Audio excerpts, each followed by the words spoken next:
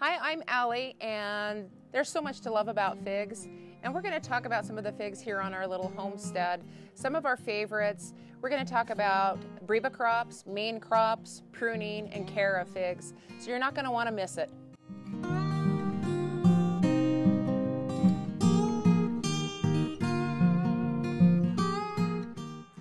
Okay, so this is Black Mission.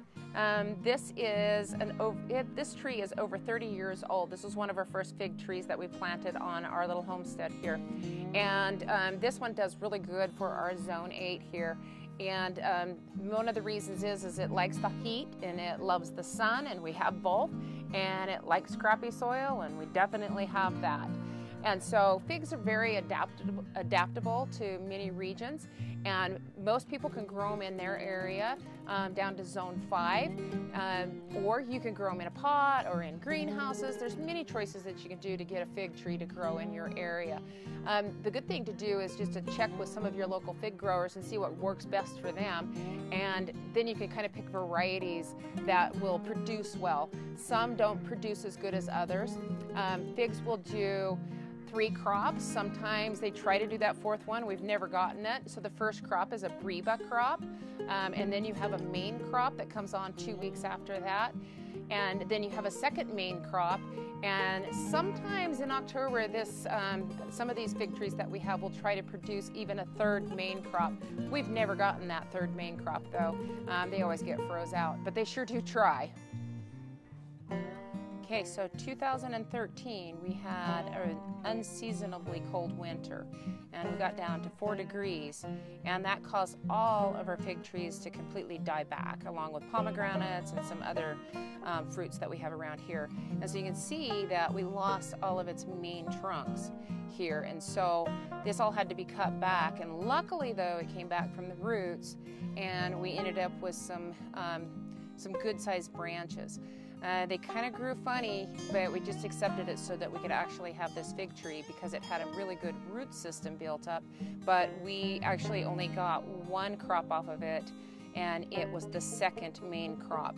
The first crop never did come around because it was so busy trying to rejuvenate itself. So, yeah, we lost some, some big guys here. Okay, so here's Celeste, another one of our varieties.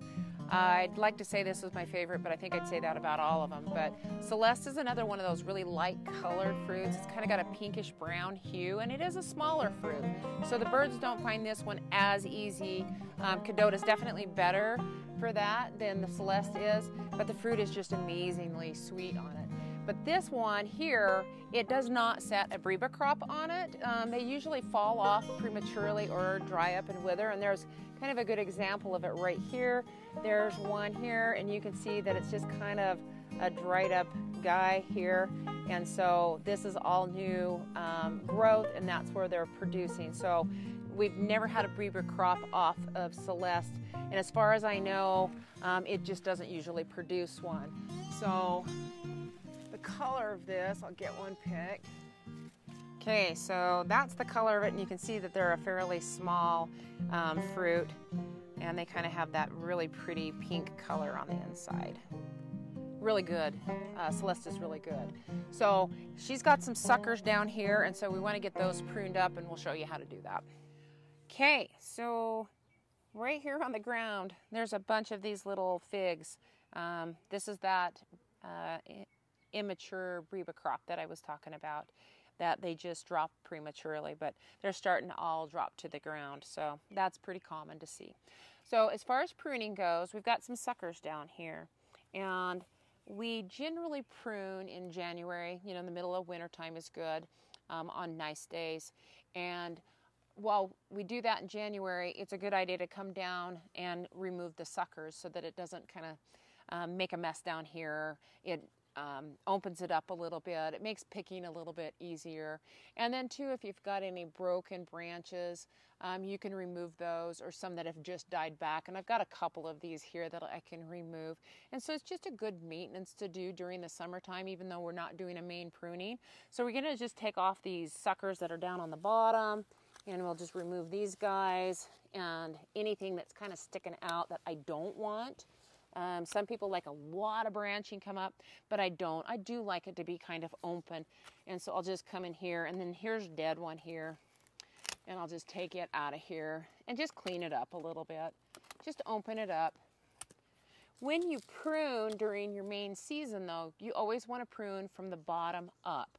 That way you can clean the bottom up and then as you come up, you can look for crossing branches, remove any crossing branches and any that are dead, of course.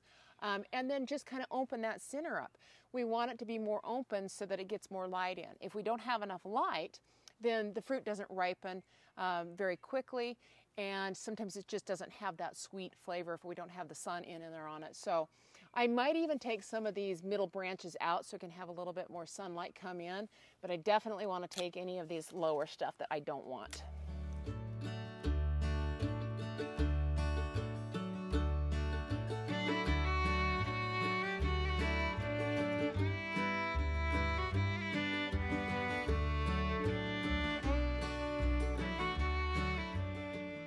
Here's that latex that we talked about. So when you do any of this pruning, maybe you might want to wear some long sleeved um, shirts and maybe a pair of gloves if your skin gets irritated really easily.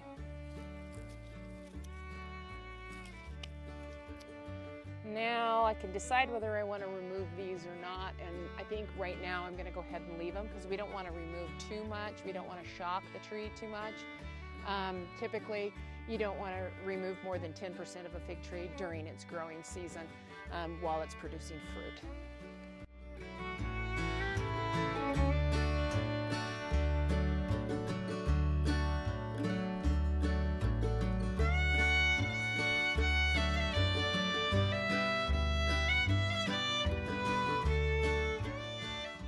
I think that'll do for now. Okay, this is Eve, our Kadota fig tree, and um, it produces a greenish yellow hue fruit on it, which is really cool because versus the Black Mission, um, Black Mission, the birds find it right away. And so where it's kind of that green color, yellow color, it just hides. And so any of those lighter colored figs, the birds don't find as easily. And so, yeah, when it comes on, um, we get more figs off of this one than we do the others. And here the, you can see that there's a Breba crop on this one. So here's our old wood right here, last year's growth. And there we've got some fruit and it's gonna develop. And then here's our this year's crop. So we have our Breba crop and we have our main crop on this one. So Kadota will produce a Breba crop on this. So when we planted this, it was um, basically a gift from, from a friend of ours that she'd had this in a pot for probably eight years maybe more, and it never produced anything. Um, she gave it plenty of light most of the time. So that's one of the things when they're grown in pots, um, they've got to have ample light, it's just like they would outside, the 8 to 10 hours for them to produce. And it also needs lots of fertilizer when it's in a pot. So when she gave it to me, it never produced. And so when it was in the ground for the couple, first couple of years, I kind of thought she was going to be an atom because she didn't do anything and I really thought she was going to produce. And so um, the last last fall we got a harvest off of her and you can see now that we've got a little bit of the Breba crop and we've got our main crop which is really cool. So we'll have a good crop off of um, Eve from here on out. So one of the downsides to a black mission or a brown turkey is their color. Um, as you can see this right here, uh, the birds are finding these. And they don't necessarily need to be on top. They'll hide in the, in the tree itself. And once they start eating these, they come in and they come in ferociously. And they will munch all day long. So um, that is the good thing when you have the greener color figs or um, kind of the, the lighter color anyways. These darker colors always get eaten a little bit. So um, we kind of have to pick these a little bit earlier um, so that we actually get some figs. So the figs that you find in the store are never figs that are um, tree ripened and so they never taste as good so you never get that full delicious flavor that you get when you grow your own figs because it's phenomenal. And if you've not eaten a fresh fig, you're really missing out and you really need to try growing a fig in your area. They're, they're, there's no words for it. They're so delicious. Um, so anyways, we're going to pull over a fig bush over here and we will get one of these guys off. when you pick it, you don't want to just pull. When you pull, um, you smush the fig, and so I usually just use my thumb and I push up on it, just up on the base, and then you end up with the stem and everything.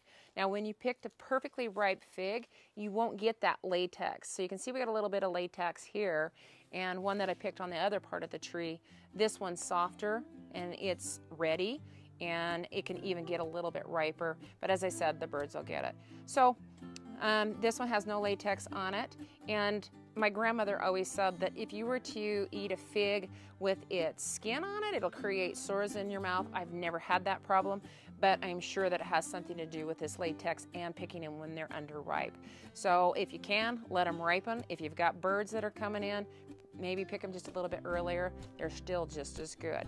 So we make this um, honeyed uh, candy fig that is phenomenal and it takes a few days to do it but it's really worth the time and it's a good way to preserve figs through the winter time and it's just such a sweet nutritious treat and if you guys are interested we'll do another video on that put your comments below and let us know that you want to see that and we'll we'll do that video here really soon so anyways, we're gonna pick some of these figs and get them ready for making our candy fig.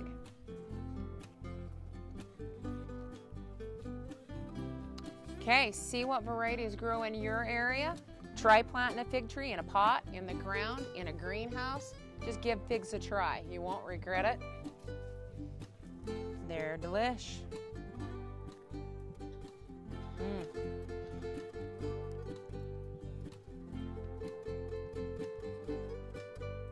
So good.